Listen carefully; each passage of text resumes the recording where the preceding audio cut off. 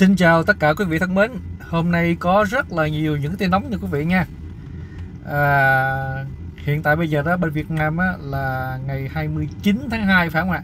Cái năm này đặc biệt là cái ngày 29 Và cái quý vị nào mà coi như là sao? À, Nếu như mà sinh nhật vào trúng cái ngày này đó Thì 4 năm mới lại có một lần. Đặc biệt không quý vị? 4 năm ha có một lần ha tại vì cái ngày 20 thường thường á, là tháng 2 á, là có ngày 28 thôi. Nhưng mà cái năm nay đặc biệt là lại có ngày 29 thì bây giờ chính là sao quý vị? Bây giờ chính là cái thời gian mà là sinh nhật đó của những người nào mà sinh vào ngày 29 tháng 2 đó quý vị ha. Cho nên là tổ chức rất lớn luôn cái người nào mà tổ chức ngày sinh nhật hôm nay là tổ chức rất lớn bởi vì 4 năm tổ chức lần mà mình gộp lại thành 4 lần mình nhân lên. Vui ha mà thì quá vợ cũng xin chúc mừng ngày sinh nhật cho tất cả những người nào mà có ngày sinh nhật vào ngày 29 tháng 2 nha. Ok như vậy thì ngày mai là ngày 1 tháng 3 thì ở bên Việt Nam á, là sẽ có một phiên tòa đặc biệt diễn ra. Đó cái phiên tòa đặc biệt là phiên tòa gì quý vị? Phiên tòa là xử hàng đi và trần nhân sĩ. Quý vị thấy rất đặc biệt không? Cái phiên tòa này chắc chắn 100 trăm sẽ có rất là nhiều người quan tâm. Trong đó có cả truyền thông, báo chí, youtuber và khán giả ở khắp mọi nơi quan tâm. Cái phiên tòa này nó cũng không thua kém gì phiên tòa xử bà Hằng đâu nha quý vị nha. Bởi vì tại sao? Trong phiên tòa này bà Hằng được mời đến. Bà Hằng và ông Quỳnh Uy Dũng được mời đến với tư cách là người có quyền và nghĩa vụ liên quan. Mà nói đúng hơn đó nó chính xác hơn đó là người bị hại đúng không ạ? Tại sao? Tại vì họ đã vu khống họ đã xuyên tạc họ đã nhục mạ ông Dũng bà Hằng công ty Đà Nam và quỹ từ Hằng Hữu trong suốt rất là nhiều năm. Thì à, ông Dũng bà Hằng đã viết những cái lá đơn tố cáo khởi kiện lên cho tòa án. Và sau khi mà điều tra xem xét đó thì tòa án đã truy tố và bắt những người này tạm giam. Và đến cái ngày mai tức là ngày 1 tháng 3 là cái ngày đó đó ngày mai bên Việt Nam đó quý vị một tại tháng 3 tức là cái ngày mà theo dự kiến là sẽ đưa cái vụ án này để ra xét xử, cái tội hình sự là 331 lợi dụng quyền tự do dân chủ để xâm phạm đến của nhà nước, tổ chức cá nhân. Đó quý vị, thì cá nhân là cá nhân nào? Cá nhân là cá nhân của bà Hằng ông Dũng. Tổ chức là tổ chức nào? Tổ chức là quỹ từ thằng hữu. Tập thể là tập thể nào? Là cái công ty của phần đại nam. Rõ ràng, đúng ạ. à? Cho nên là cái phiên tòa này đúng ra với danh nghĩa bà Hằng, ông Dũng là cái người bị hại. Chứ không phải là người có quyền và nghĩa vụ liên quan. Bởi vì sao? Bởi vì họ là người tố cáo mà. Họ bị hại mà. Không chỉ bị hại về cái tinh thần ha mà rồi về cái phẩm chất đạo đức, về tư cách của họ. Mà thiệt hại nặng nề hơn nữa là về cái doanh thu, cái lợi nhuận của công ty. Phải không ạ? Rồi lợi thiệt hại, còn cái nó có vấn đề về nhân văn nữa, đạo đức nữa. Rất là nhiều những cái vấn đề đó. Đồng thời, cái quỹ từ thiện hàng hữu của họ là đóng cửa lại. Thì cái vấn đề thiệt hại nó sẽ đổ dồn vào trong cho nhà nước, đổ dồn về cho những người nghèo. Tại sao có phải nói rằng là là đổ dồn về cho nhà nước là sao? Tại vì thưa quý vị, chính phủ thường thường có những cái bảo hiểm nhân thọ, bảo hiểm này, bảo hiểm nọ, bảo hiểm y tế bảo hiểm y tế đó là cũng cũng trích từ cái nguồn à, thuế của người dân họ đóng. Rồi nhà nước mới trích ra một phần trăm nào đó ở trong cái quỹ đó để cho rót vào trong cái bảo hiểm y tế để cho giúp đỡ cho những người có hoàn cảnh khó khăn. Hoặc là thậm chí rằng là mình đóng tiền bảo hiểm. Mình đóng tiền bảo hiểm thì coi như là họ có cái bảo hiểm y tế. Nhưng mà đặc biệt là những những hoàn cảnh khó khăn đó nhưng họ hoàn cảnh mà hoàn cảnh ngặt nghèo đó người nghèo khó đó thì nhà nước sẽ hỗ trợ cho cái vấn đề về bảo hiểm y tế cho nên là đối với những cái bệnh nhân mình nặng mà cần phải cấp cứu đó, thì bảo hiểm y tế sẽ đem vào. Nhưng mà nếu như có những cái mạnh thường quân, những nhà hảo tâm mà lớn giống như ông Dũng Hằng đó, họ trích họ trích ra cái lợi nhuận của công ty của họ ra để mà giúp đỡ cho những hoàn cảnh khó khăn, rót tiền vào trong những bệnh viện đó, thì bảo hiểm y tế cũng đỡ một phần nào. Tức là tiền của chính phủ giảm xuống. Bởi vì có những người mà mạnh thường quân, họ có tiền, cái của họ đổ vào đó phải không ạ? Thì đỡ một phần nào gánh nặng cho nước nhà là một. Đồng thời cũng là giúp đỡ cho những người khó khăn nghèo khổ, có cái đồng tiền để mà mổ, để mà chữa trị kịp thời.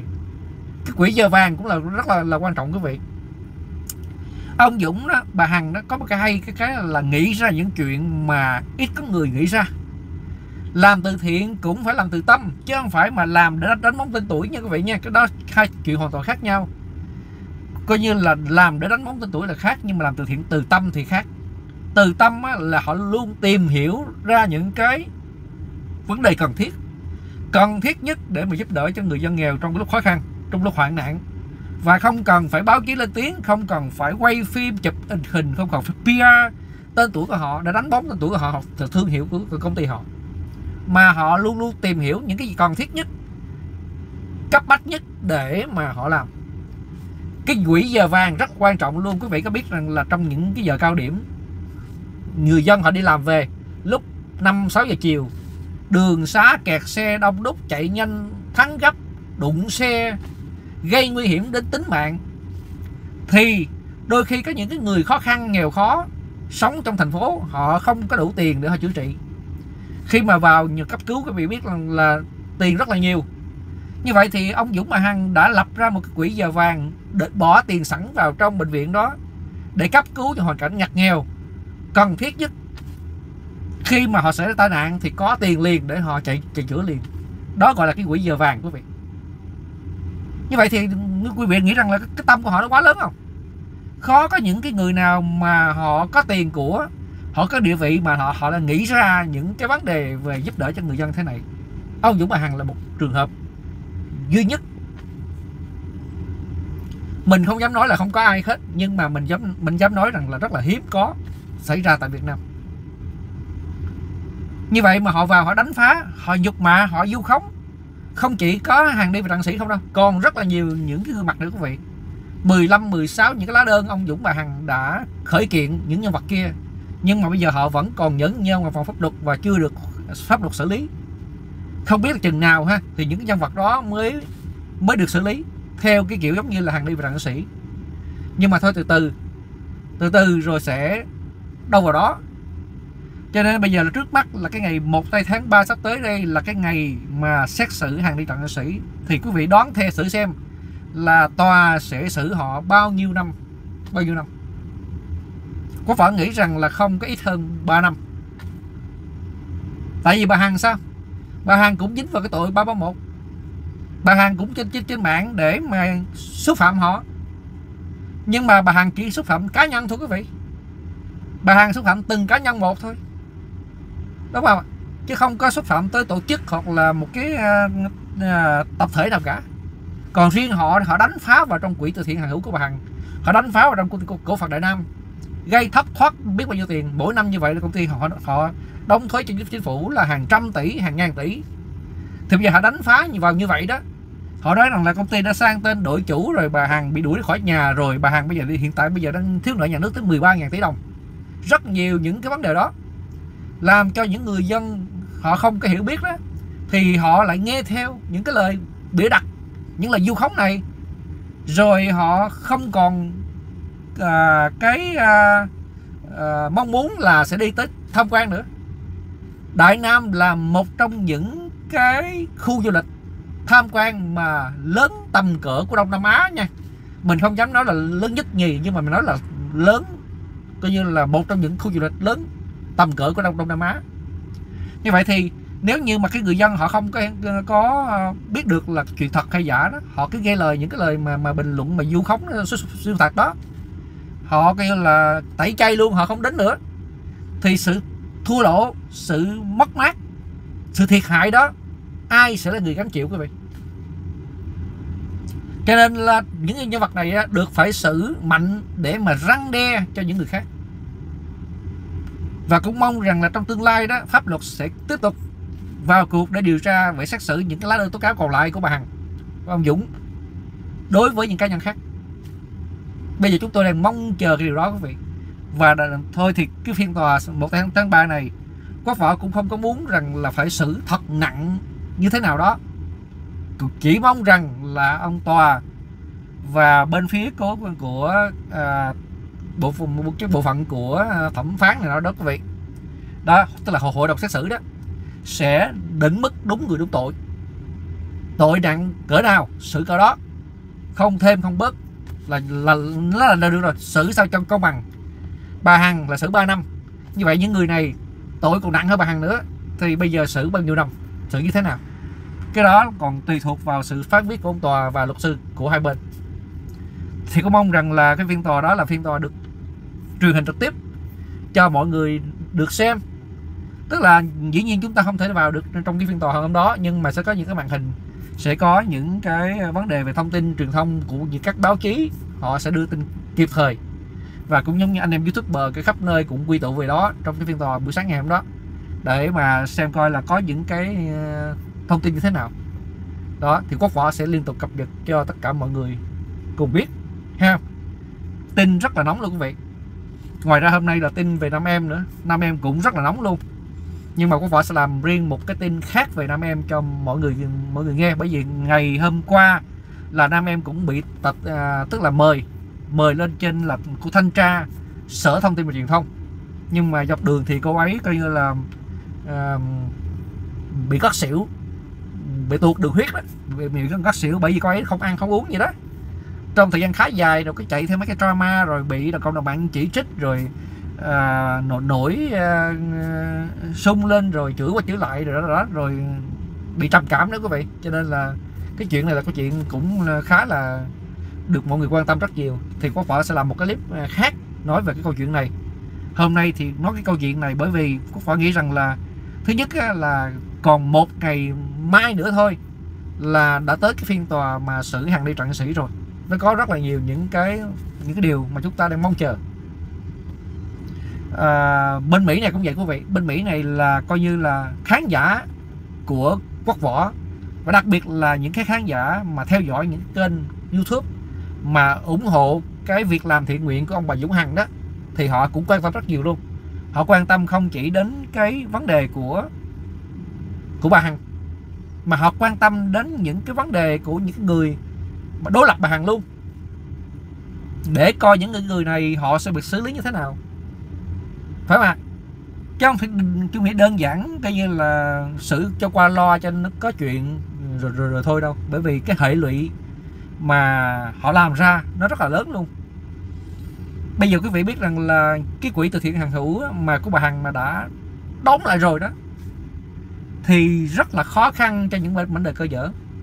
Khó khăn cho những các em trẻ em mà mà coi như là bị tim bẩm sinh rồi não uống thủy. Họ rất là tội nghiệp luôn có những em bé quý vị biết rằng là đã được mổ một lần hai lần rồi. Nhưng mà không chỉ là mổ một lần hai lần là hết bệnh đâu quý vị. Bởi vì cái, cái bệnh tim mà bẩm sinh và não uống thủy này đó là nó còn thời gian chữa trị rất dài. Không đơn giản chỉ mổ một lần thôi là là hết đâu đâu còn phải diệt tận gốc mà. Cho nên là phải có khi mổ tới ba bốn lần á. Nhưng mà nếu như có những trường hợp đã được mổ một lần hai lần rồi và sẽ tiếp tục mổ nữa để cho nó coi như là coi như là, sao, sớm sớm là được ờ, mau hết bệnh đó.